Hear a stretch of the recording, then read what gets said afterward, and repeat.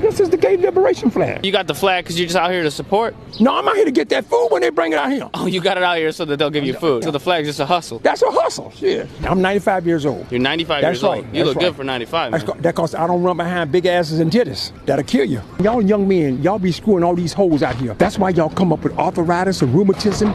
Your eyesight go bad. Your hair starts coming out. When you are uh, uh, overfuck yourself, you bring arthritis on yourself. Every time you drop that seed in her, Yeah.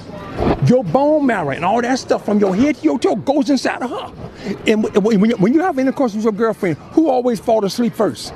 The I- man. yeah, I fall And when you wake up, she done stole your wallet, stole your car keys. She gone about her business. Yeah, I got to get that shit back. Well, well, well, you better kill her then. You, you have to eat right. Stay away from McDonald's and Burger King. Don't drink sodas. No soda, no pussy, no McDonald's. Yeah, yeah. Uh, uh, the biggest you can